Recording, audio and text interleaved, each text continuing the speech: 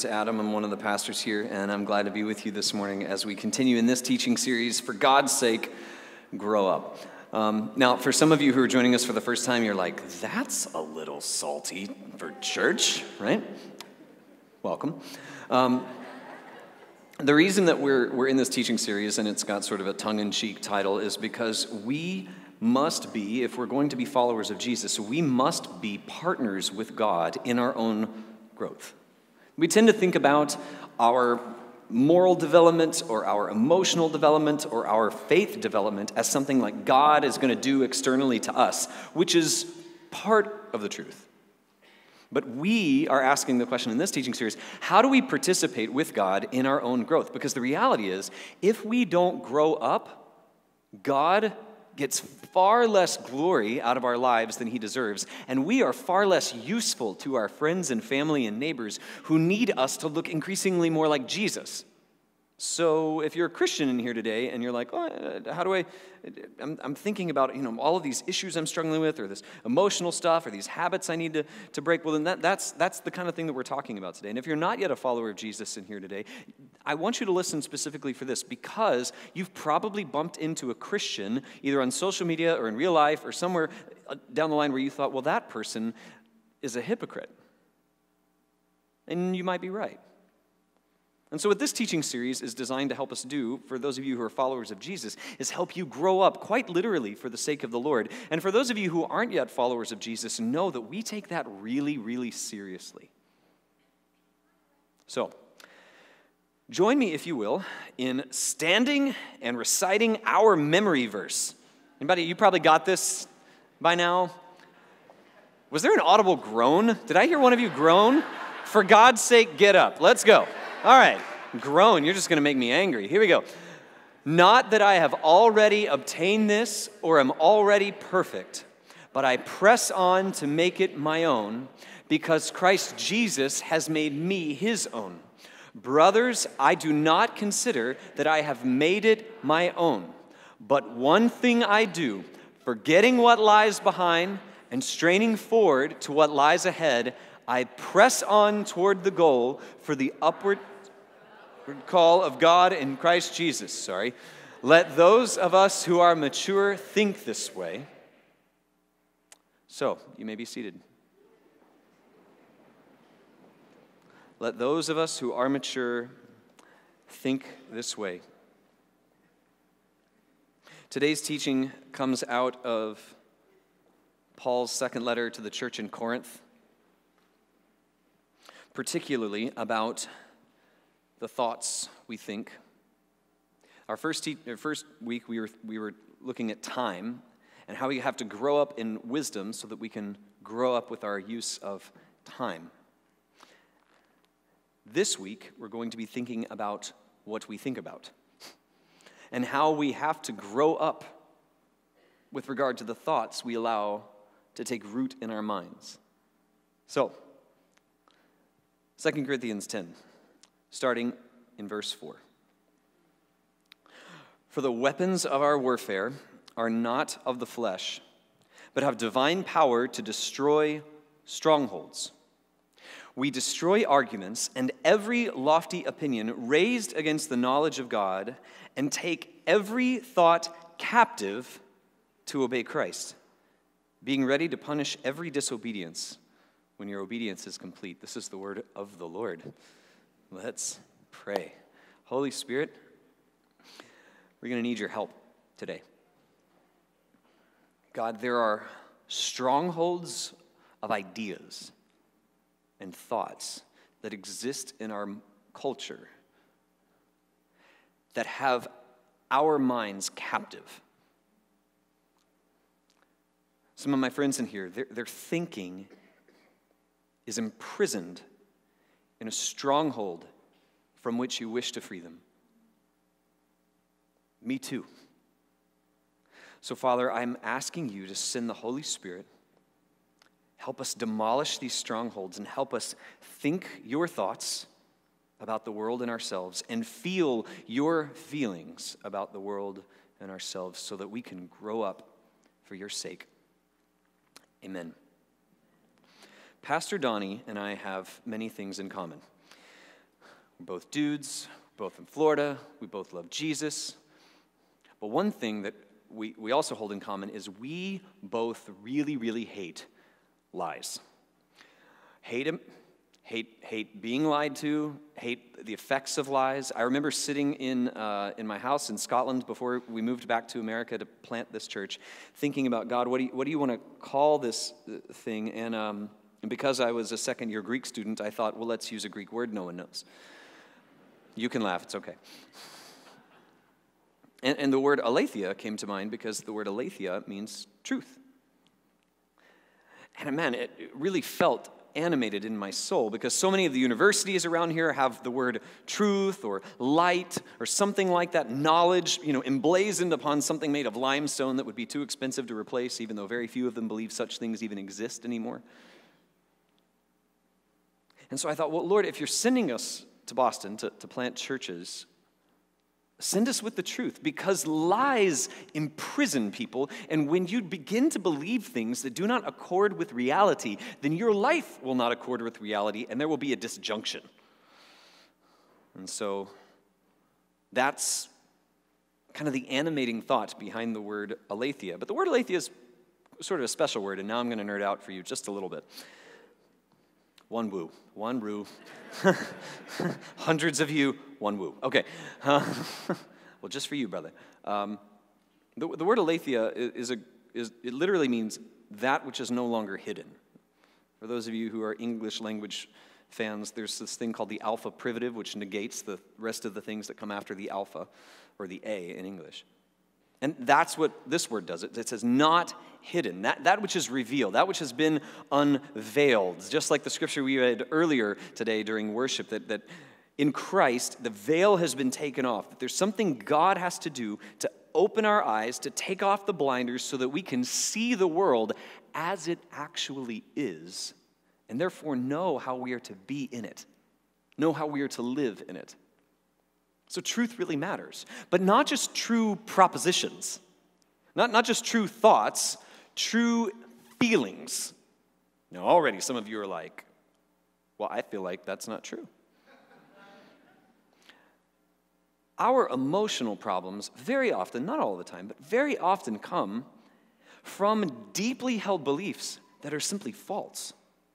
Deeply held beliefs that are false about ourselves, deeply held beliefs that are false about the world. And when those deeply held beliefs get so, so buried into your marrow, into your soul, pretty soon your emotional life can get a little wonky too. So, true things, true thoughts, and true feelings matter. And if we're going to grow up, then we have to start thinking how God thinks and feeling how He feels.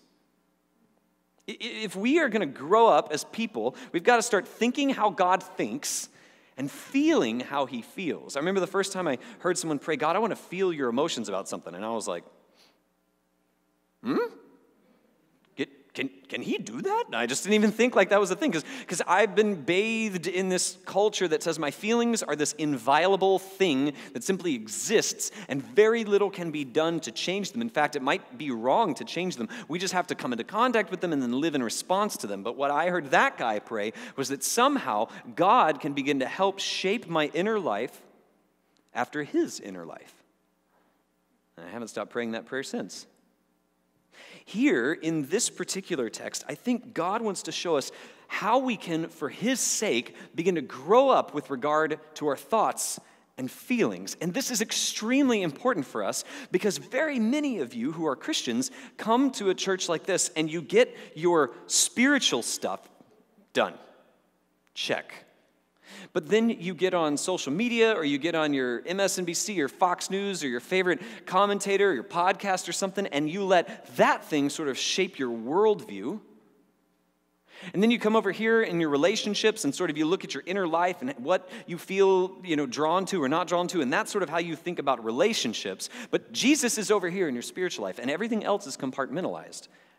And that's not the way Christians are supposed to be we are supposed to allow the lordship and the leadership of Jesus to wash into every part of our lives how we think, how we feel, how we act. Now, that process takes a while, but it'll never happen if we don't participate with it, right? And so, if you want to grow up in God, man, you got to start thinking how He thinks and feeling how He feels. And I think that's precisely what Paul is doing here. Now, just a little background on Corinthians, the book of 1 Corinthians was written in response to a letter Corinth wrote to Paul. So, dear Paul, we're kind of messing things up. Help, please. And Paul says, Dear, well, no, dear, actually, he just, he, he dictated it to another guy because Paul had bad eyesight and drew in giant letters. So, it's true. So, dear Corinthians, um, you know, here, here are your thoughts, or, you know, my thoughts on what, you know, your letter said. And they, they read this, and, oh, that's pretty good. We have more questions. Dear Paul, right? And Paul writes back, and that's the book of Second Corinthians. And in, in this book, what he is dealing with is, is helping this new church that was filled with the Holy Spirit, that was very young, that was growing rapidly, that was made of many different ethnicities and, and religious backgrounds, try to figure out how to live like Christians. Now, that means it's very applicable to us because I don't know if you've seen the room, but we're not all the same. We are growing, and many of us are young. So, it would do us well to put our ear to what Paul is saying here how we grow up by thinking God's thoughts and by feeling his emotions. So let me just read this again.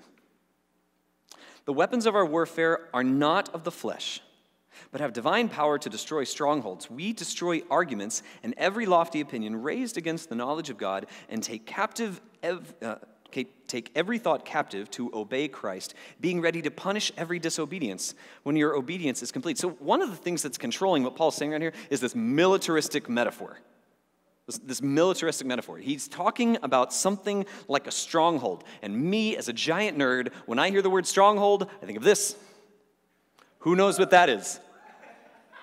I'm sorry, what Christians are there in the room? This is, this is Helm's Deep from, from the second Lord of the Rings book, and if you don't know that, it's okay. There's mercy and grace for you too. Put the Netflix down, open the book up, all right? And if you're like, I don't like to read, okay, just watch the four and a half hour long movie. Um, it's the second one. All right. So Helm's Deep is this giant stronghold that uh, when, when, this, when um, the uh, kingdom of Rohan was under attack, they would all run in there so that all, the bad guys couldn't get them. But when Paul's thinking about destroying strongholds, this is kind of what's in his mind. He's thinking about Roman imperial soldiers going and conquering the world, and when they get to a city and they start to win, everybody goes into the city stronghold, which most major cities in the ancient world had one of these, and getting people out of that was really, really, really hard. It could take a long, long siege, it could take a long, long time. And that's what Paul is saying bringing bad ideas down is like. Now you're saying, well, where do these strongholds live? See, very often this text is used to talk, like, like we read, oh, we need to take every thought captive and like wage uh, war against these strongholds in our lives. No. This is not talking about something in you, at least not in you to start with.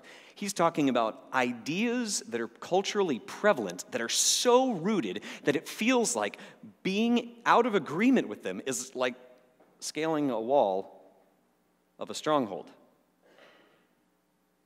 The metaphor here is really, really important because our culture right now has some really terrible ideological strongholds that if you don't see them, then your thoughts will remain captive in them. Now, I'm going to name a few, and as I name a few, I'm going to offend some of you. I tried to be selective so that I would offend all of you because I love you. So let's see. Here's one our current culturally progressive view on sex and social ethics. Oh, got everyone's attention? In the history of human cultures, we're the first people, the first people, to locate sexual ethics in the individual's feelings and self perceptions. Now, do you feel that uncomfortable tension in the room right now? Where everyone's going, Why is he talking about that? We're not allowed to talk about that. That's how you know we're talking about a stronghold. Because coming against it feels like, Uh, no, change the channel, change the channel. Rapture now. Jesus, rapture now. Right. Like, no, I don't want to talk about this. I don't want to talk about this. Yeah. Ah. I get it. I totally get it. I, I'm, I know we're going to get emails on that one. Like, I get it.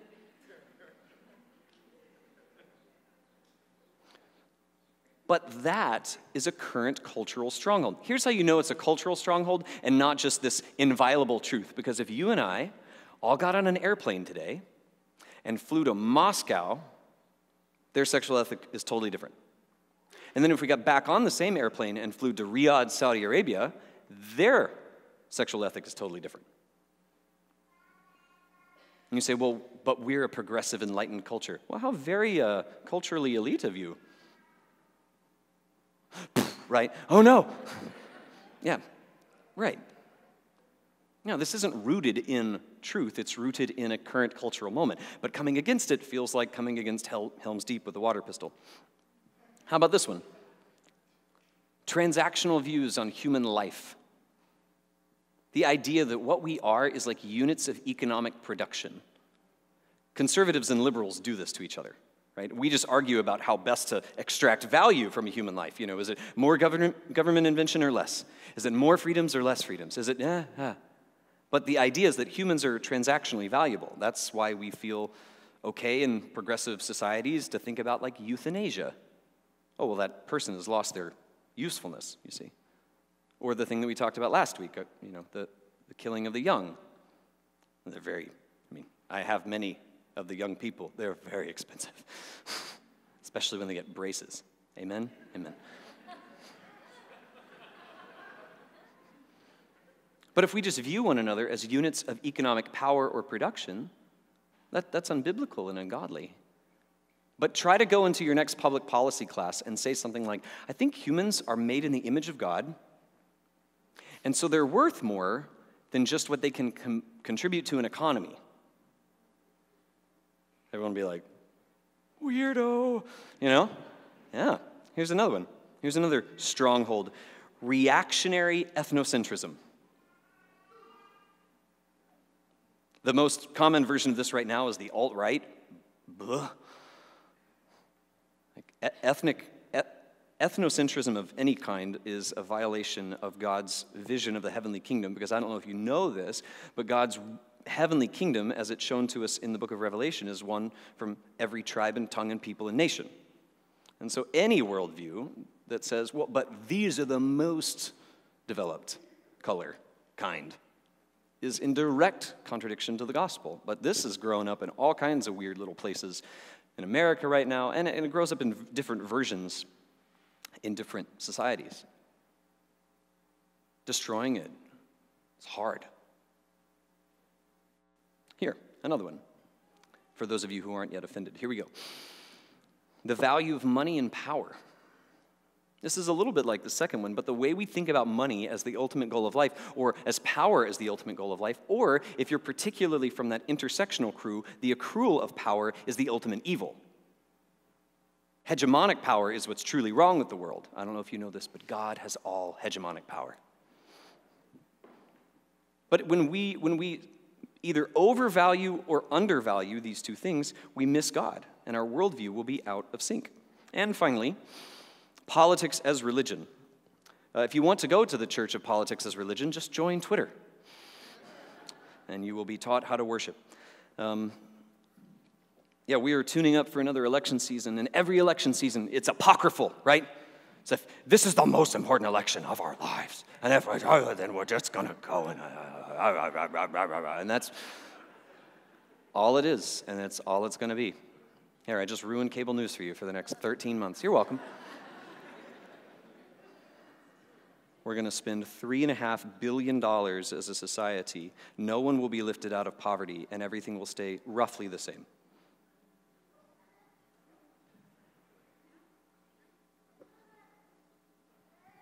So now that I've sufficiently illustrated a few strongholds. What's the Bible say about how we can begin to think God's thoughts and feel his feelings? Okay. Well, first thing we have to see is in verse 4. In verse 4, it says very clearly, For the weapons of our warfare are not of the flesh. Look at me. Some of you were really animated by some of those strongholds. You're like, oh, I hate that one. I hate that one. That's why we have to vote for the. No, stop before you do that. Just time out.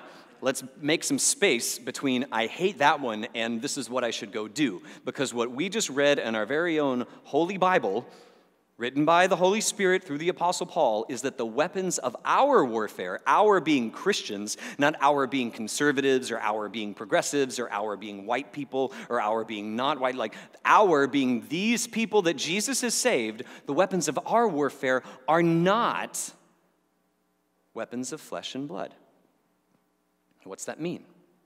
It means the way the church tears down strongholds is not primarily through the accrual of power, cultural capital, spending a lot of money, getting really angry, going on Facebook rants, shooting up places, none of that. That's not how we do the tearing down of strongholds. That's how the world does tearing down of strongholds. Do, do you see that? That's not how God's people are to tear down bad, bad, ideas, by suppressing the people who have them. Our goal is not to suppress people who have bad ideas, it's to win people who have bad ideas with the gospel of Jesus and the love of God. That's our goal. So when you find someone who has a belief, whose, whose thoughts are captive to a stronghold that you just hate, you can't hate them if you love Jesus. You must be very careful. It is very, very, very hard to maintain a righteous indignation toward lies and a loving, soft heart toward the liar. It's very hard. Jesus went to the cross to do that. So, we must first primarily see that our weapons are not weapons of flesh and blood. We're not going to be vigilantes. We're not going to be violent. We're not going to shut down people. We're not going to shout down people. That's not what we do because our weapons are not primarily weapons of flesh and blood. But our weapons do somehow, according to verse 4, have divine power to destroy these strongholds. So we defeat people's thinking with the thinking of God, and we defeat false feeling with God's heart towards stuff. But that begs the question like, all right, well, how do we do it? Well, good thing the apostle didn't stop talking. Verse 5 says this We destroy arguments and every lofty opinion raised against the knowledge of God, and take captive every thought. Oh, uh, take every thought captive oh, that is uh, to obey Christ. So here's, here's what that looks like. So get that, get that metaphor back in your head, this, this militaristic metaphor. Here's a really bad idea in the culture. Just pick one of those five. And it, it, looks like Helm's Deep, man. It looks like a stronghold. It looks like impossible to scale with the weapons of the culture can't get in there. And inside there are, are human souls and human minds and human lives. In fact, some of your minds are in there. How the heck do we get them out? How do we free Christian minds and then the world's minds from these ideas that are going to not bring about human flourishing and they're going to not help you grow up in God. How do we do that? In order to take every thought captive, we've got to figure out how to defeat these strongholds. And the way we defeat these strongholds is with this divine power. So here's what it is truth.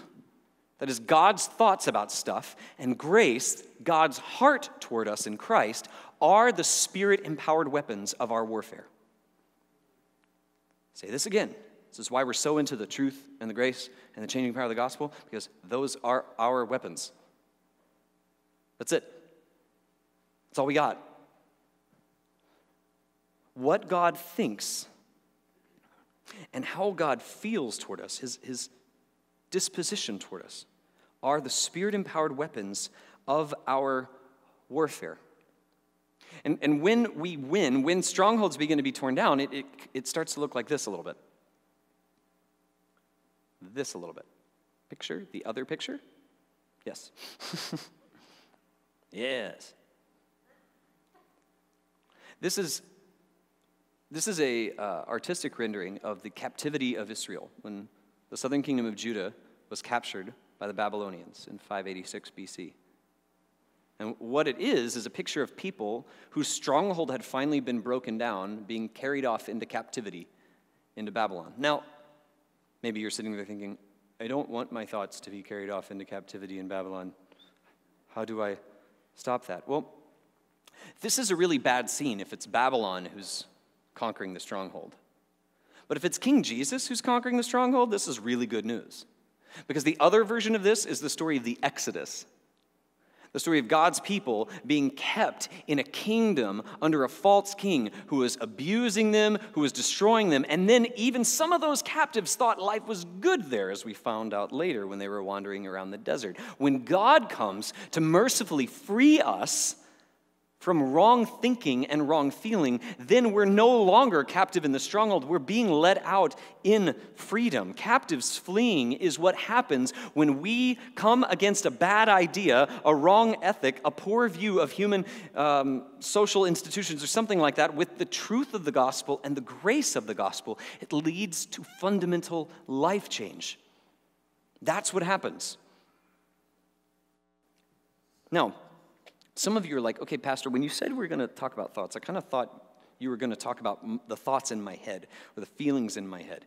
We are, but you, do you see how utterly controlled your thoughts and feelings often are by the cultural strongholds out there? Because your hearts will be captive to them. So will mine. If I have a wrong view on social ethics, or if I have a wrong view on what a human is, or I have a wrong view on money, then those things are defining success and failure for me. So if I fail at gaining more money, since our culture says that having money and having power is the way to have a good life, if I fail at that, then I failed at life. That pursuit, just that one pursuit, destroys lives. It destroys lives on both ends because if you never have enough, you're never happy, and once you get enough, guess what? It doesn't impart happiness to you. So, by coming against that idea with the truth that money is a very important tool, but a very terrible God, and the grace that God loves people whose hearts are captive to money and wants to forgive them and give them something more valuable than money, once that person begins to believe that, that person is freed from the love of money. Do you see how that works?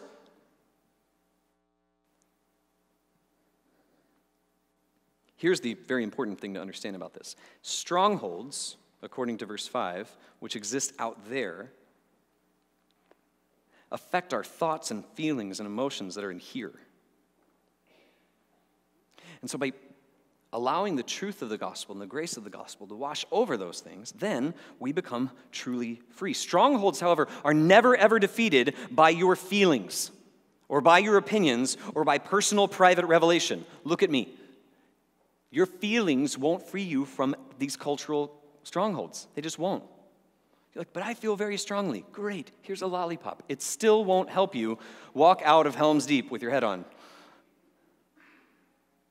Private revelation, the Lord showed me. I don't care what you think the Lord showed you if you're not familiar with what He's already showed you. Can I just give that to you? Many of you are very spiritual and you hear the Lord. I believe you hear something. But the scripture says, test everything that you hear against this. And if you don't know this, then you'll be led around by every demonic spirit that can whisper into your ear. Some of that might be Jesus, some of that might be your lunch. Others of that is definitely not people who love and follow Jesus. So you're like, well, I feel really spiritual. And I was, you know, watching a Christian ish show and I was listening to music and I was all, mmm. So therefore, like, that's not how it works. I believe that the Lord speaks to us. I really, really, really, really do. I just think we should probably be as or more interested in what he's already spoken to us than what we are in what he is currently speaking to us. So, for Paul, this was a really big deal because he completes his metaphor like this being ready to punish every disobedience when your obedience is complete. You're like, this sounds terrible. This is a terrible sermon, Pastor Adam. This is not encouraging. I don't like militaristic metaphors. I don't want to live in a stronghold. I don't want to be captive to anybody. And why is it good news to be captive to Christ? Here's why you're going to serve someone. And I think the devil's, man, he's brilliant. The most brilliant lie he's given to Western civilization is that you can be your own master. The best way to keep someone in captivity is to convince them that they're not. So most of us think, oh, well, I'm just following my heart, or I'm following my dreams, or I'm an independent thinker. Do you know our best cognitive research right now suggests that most of us don't have hardly any independent thoughts, that we're led around by our inner lives and our experiences like an elephant just lumbers through life? You're like, well, I thought that, no. Like we're a product of so many different things. Not to mention the captivity that our hearts experience under sin. So, coming under the lordship of Jesus is profoundly good news because he's the only one good enough that we can trust fully to have good ideas that are going to lead us to our good and not to our evil. And he's the only one kind enough to forgive us when we have bad ideas that destroy us and ourselves and welcome us back into his family. So, now, all of this begs a giant question. If it's true that to grow up in God, we've got to start thinking what he thinks and feeling what he feels, how in the world do you do that? You're like, great, I agree. Let us pray. Like, that doesn't help. Like, I will think about how to think about God's thoughts. Thank you. No, I, I want to show you a little bit. The first step is to name the thought. Like, just name it. Put, a, put your finger on, like, what, what is the stronghold that has my heart? Some of you, th- those five things, you're like, oh man, I didn't realize the Bible had something to say about sexual ethics that I still had to listen to. I Just thought it was all cultural sweep it under the cultural rug. I don't have to do that. Like, what is it that has you captive? You've got to name the thought. Is it external? Is it, is it something out there that's looking really, really attractive in the world? Or is it, is it internal? Do you, do you see right now that you're captive to like an internal thought, like maybe fear or self loathing or these depressive, anxious tendencies that so many of us around here are given to? You've got to name it. And, and, it would be helpful if you could ask yourself prayerfully where in the world is that coming from? Like, is your, is your negative emotion about yourself really coming from a deeply, deeply held lie that you're not worth loving or that no one really cares for you or that God has abandoned you? None of those things are true. But if those lies are deep in your marrow, then you'll live incongruent with reality. Trust me, some of those lies have been deep in my marrow. You've got to name it. The second thing you've got to do is learn what the Bible actually says. That means not going on YouTube and shopping around for someone with a Bible degree who agrees with what you already think. Those are not the same things. You've got to learn what the Bible actually says about something. Now, what does that mean? It means studying it, but at least means believing 2 Timothy 4, verses 3 through 4, which, which tell us about how there, there's going to be a time that's coming. In fact, it's already here, where people won't endure sound teaching, but having itching ears, they'll accumulate for themselves teachers to suit their own passions and will turn away from listening to the truth and wander off into myths. Guys, if that was true 1970 years ago, it's true now.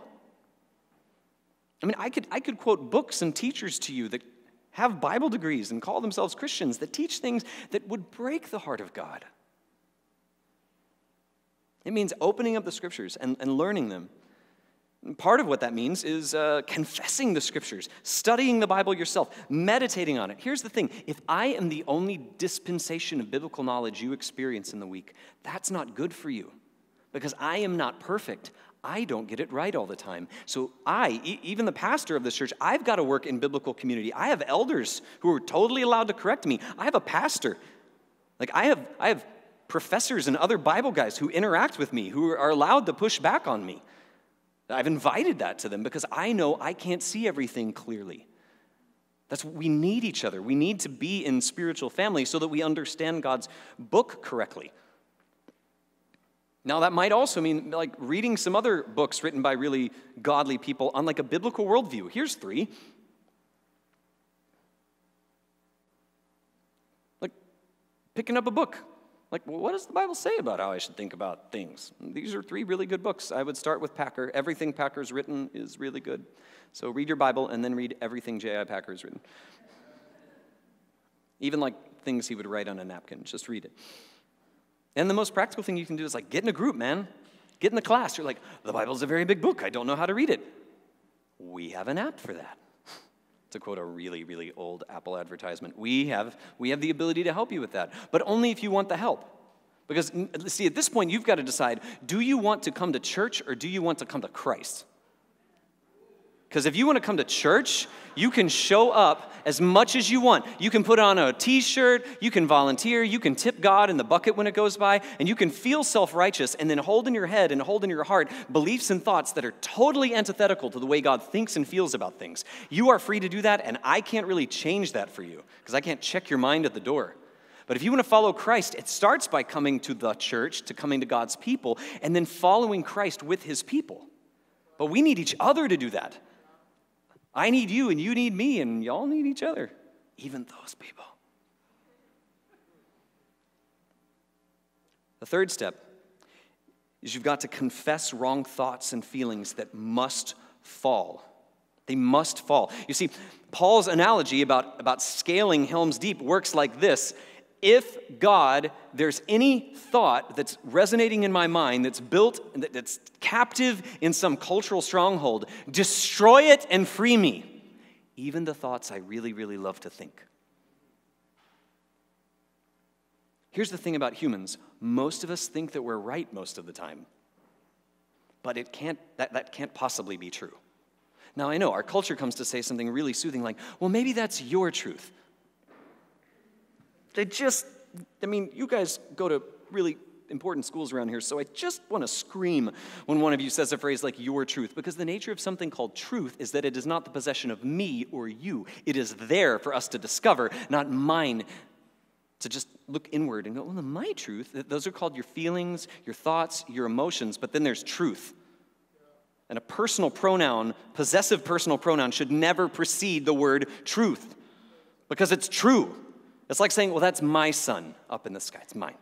It's mine. Nope, it's lighting all of us. And it's burning some of us who are extremely white. I know some of you are like, Adam's in short sleeves, and whoa, that brother's white. Yes, yes, yes. His shirt is darker than his arms, I know. My glorified body will be slightly more bronze, I'm, con- I'm sure of it. Taller, more hair, I'm putting in an order. It's like ordering a Tesla. Some of you believe that because you've not read your Bible. Do you see? Some of you are like, oh, how you? right now. You're like, is that how it works? Uh, yeah, yeah, that's totally how it works. Uh, yeah, while you're at it, it's, it's $1,000 just to me. I'll teach you how to do it. Help me pay for those braces. You've got to confess wrong thoughts and feelings that must fall. Once you read your Bible and you're like, I think some of my political beliefs, I think some of my sexual beliefs, I think some of my economic beliefs, I think some of my personal feelings might not be in congruence with God's word, then at that point you've got to say, Lord, be Lord. God, be God over my thoughts. We submit everything we think, all of our ideas, all of our worldview, all of our viewpoints to God. Now, some of you are like, yeah, but sometimes, Pastor Adam, you don't sound totally like Jesus. I know. Do you see how important it is that I do this too? We, we must all do this. We're not ever going to do it perfectly, but just because God's followers don't perfectly embody the Savior doesn't mean the Savior was wrong. It just means we actually needed him.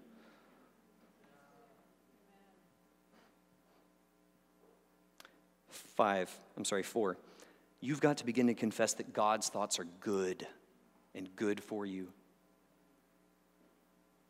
That God, I, it's really hard for me to believe right now that what you say about the body is good, or what you say about my soul is good, or what you say about money, or what you say about those people I kind of hate are good. But Lord, I'm choosing to trust you even when it doesn't feel true. I know you are truth. You've got to begin, that, that's what it means to take every thought captive to Christ, because He's the only one worth being captive to. And five, got to ask the Holy Spirit for power to change. Paul says the weapon of our warfare is not weapons of flesh, but it does have divine power. In other words, he's tearing down arguments and God belittling ideas, but he's not doing it with other arguments merely. He's doing it by the power of the Holy Spirit. The truth of God's word, the grace of God's heart in the gospel, empowered by the Spirit, can change everything around us. This is the divine power that we need. And the cool thing about following Jesus is that not only has he shown us how this can be possible, but that Jesus is building a kingdom where one day there will be no strongholds built as lies.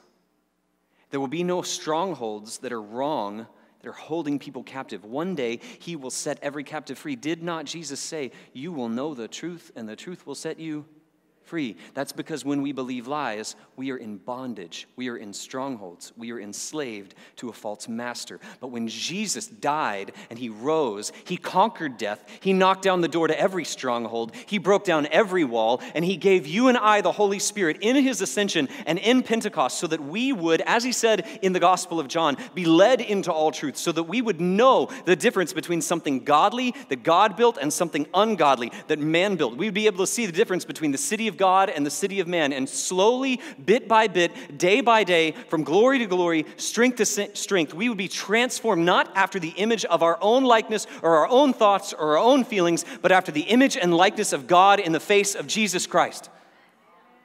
That will never happen if I don't submit every square inch of my mind and my heart to the Lordship of Jesus, even when I don't want to.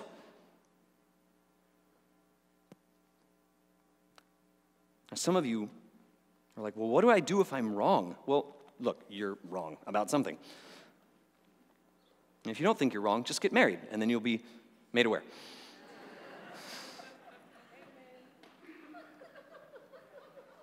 I mean, baby, I've been made aware. Obviously, you've, I, you know, no. Um, no, we're, we're wrong. But the cool thing about following Jesus is that he's got power to change us and grace to forgive us. That's why it's not just truth, where we truth, you know, true, true, true, true, true, true, true, and you don't go on Facebook going, I'm just going to correct the internet and then everything will be fine. That never works. Lobbing a truth grenade is not going to help anybody. But neither is it going to help anybody just be like, grace, grace, grace, grace, grace, just come on in here. We just all beliefs, our beliefs. We celebrate everything. We're super inclusive, except for the people that we don't wish to include because they're not as inclusive as us. That doesn't work either. That just alienates the other half of people who disagree with you. But if you put truth out with God's heart, empowered by the Spirit. We have power to change and grace to be forgiven. So, back to Helm's Deep. What does that represent for you? Where are your thoughts captive to some form of thinking, to some feeling that isn't godly? And what are you going to do about it?